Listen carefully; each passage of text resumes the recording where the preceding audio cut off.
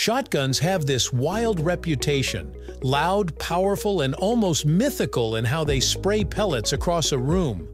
You've seen it in action movies and video games, one pull of the trigger, and suddenly, everything in front of the barrel is history.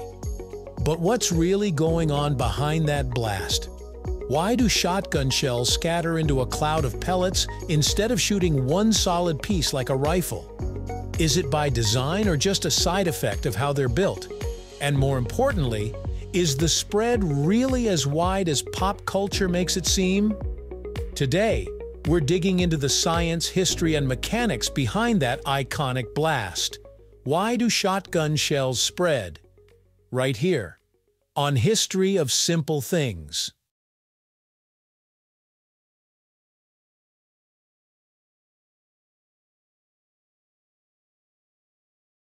To understand why shotgun shells spread, we first need to break down what's actually inside one.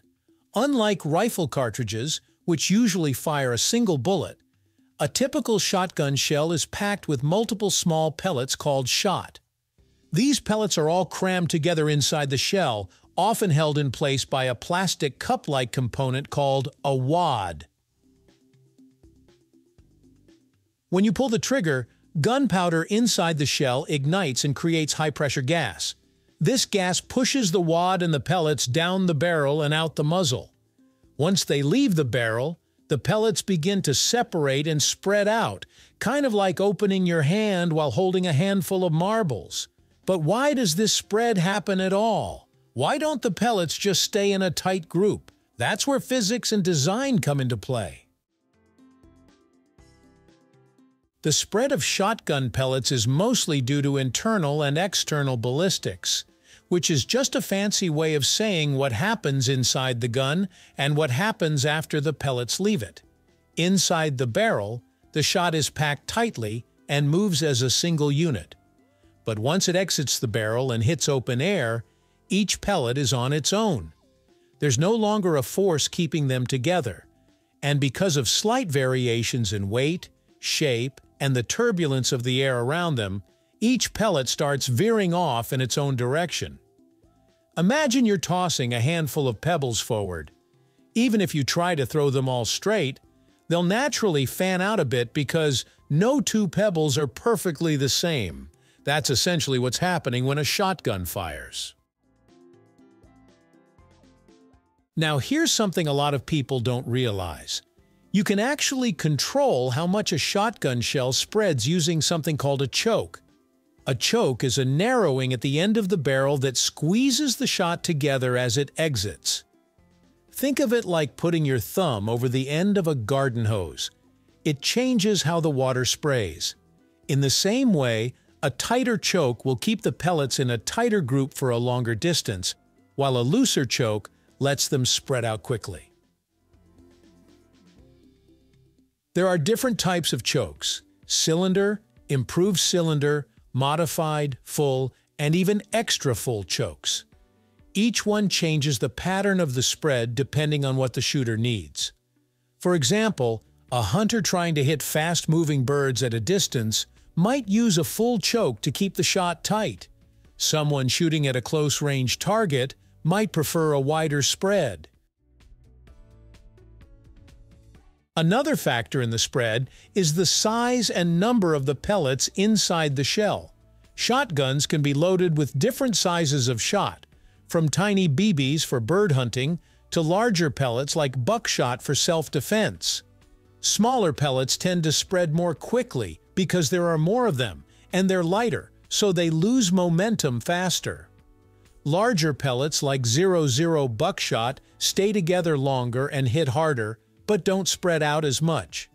So, the type of shell you're using directly affects how wide the spread will be and how far it'll stay effective. It's all about trade-offs. More pellets mean more chances to hit something, but they don't go as far or hit as hard. Fewer bigger pellets mean more power but less room for error. You might think the length of the barrel would make a big difference in spread, and you'd be right but maybe not in the way you expect. A longer barrel doesn't exactly make the shot spread out more or less. What it does is allow the pellets to build up more speed and help stabilize the wad and shot a bit better before they leave the barrel. This can lead to a slightly tighter pattern, but the choke has a bigger influence on spread than barrel length does. In practical terms, you'll find longer barrels on hunting shotguns, which need accuracy at longer ranges, and shorter barrels on tactical or home defense shotguns, where maneuverability and widespread at close range are more important. So why is spread a good thing in the first place?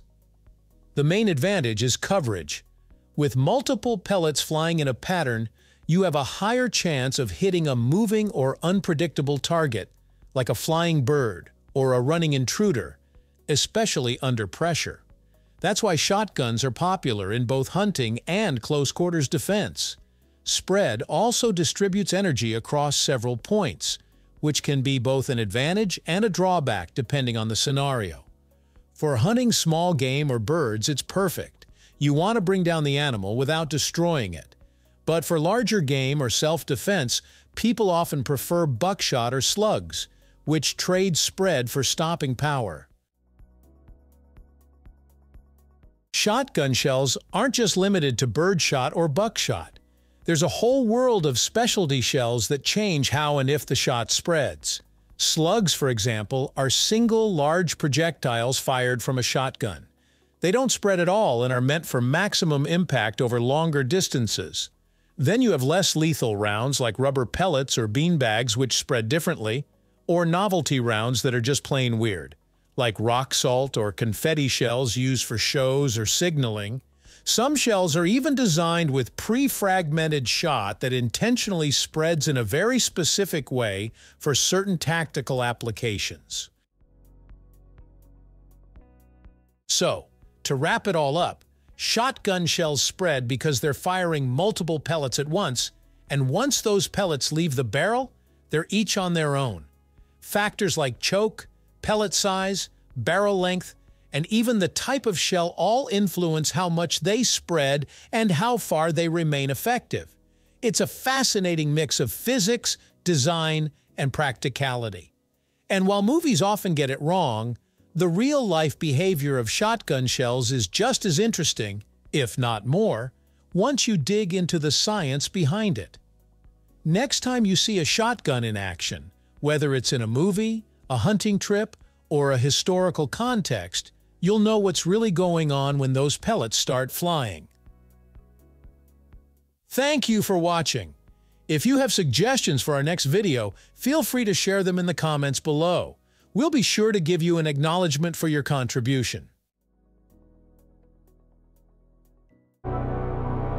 Thank you for joining us on this journey through the history of simple things. Don't forget to like, subscribe, and stay tuned for more stories woven through the smallest details.